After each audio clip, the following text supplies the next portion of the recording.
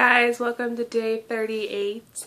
Um, I just wanted to do like a quick little update, like a little, not an update, but maybe an explanation for yesterday's video. Um, nothing like bad happened, but I feel like I've had so many like inner struggles lately, and I've been sharing a lot on here, but I tend to keep a lot in, and I thought like maybe if I just wrote it down and said it all out loud, I could get past it all and I could you know, make some sense of it and just not let it build up on me because usually stress just builds and builds inside of me until it just it wins and it takes over. And I don't know, I've just never really been good at sharing my feelings. And I thought like it wasn't meant to be a like whiny video, it wasn't meant to be an oh poor me, oh help me, like it was just meant to be everything I'm feeling out in the open, like done past it. Well, not past it all because those are still all my inner struggles and but they're out there now and they're not building up and I don't feel like I'm keeping secrets. You know, like maybe it's just admitting them first step to moving on. Um but yeah, that's what that video was. I just I don't know if it came off anything like worse or how it came off, but I just wanted to do a quick explanation.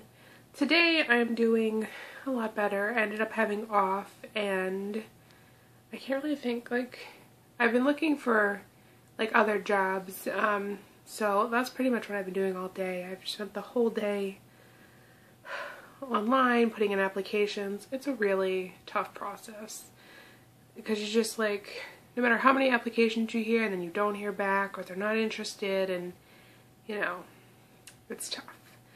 But other than that, I'm waiting to hear back about my car, which I heard that was supposed to, like the part was in, was put in, but they still had a test drive, but I haven't heard back since then.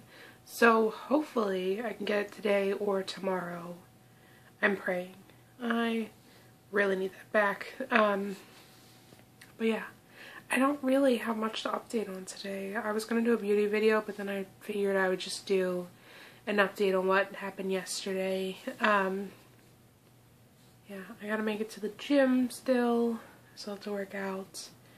Though I've been really having problems with my wrist. I don't know what it is. Like, there's no, like, I didn't do anything to it. It just feels like lately it's really, really tight and I try to, like, stretch it out. And it's starting to get to that point where it feels like it's bruised, but it's not. So I don't know. I don't know. I'm falling apart. I'm 25 and I feel like I'm 80 yeah, that's pretty much the update for the day. It's pretty boring. I just really wanted to explain myself for yesterday and say that I'm doing okay. Um, like, it wasn't a, like, cry for help. It wasn't meant to be anything. It was just meant for me to get it out there, get it off my chest, and not feel like I'm hiding anything. But yeah, that's pretty much all for this update. So, I will see you guys tomorrow. Bye.